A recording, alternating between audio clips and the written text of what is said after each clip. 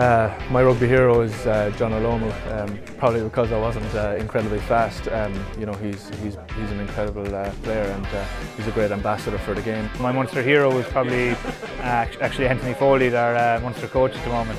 Um, I would have grown up watching him. Um, he obviously captain Munster to win the Heineken Cup is something I suppose I grew up trying to dream of doing and I'll be spending probably next couple of years trying to do it and hopefully we can do it sooner rather than later. It would have to be Doug Howlett. Uh, I mean, when I first came down, the guy was like was literally a legend in my eyes. But uh, then to find out he's the nicest, most down-to-earth guy you can meet, and uh, an unbelievable uh, teammate and teacher, mentor, whatever you want to call him. Uh, yeah, Dougie.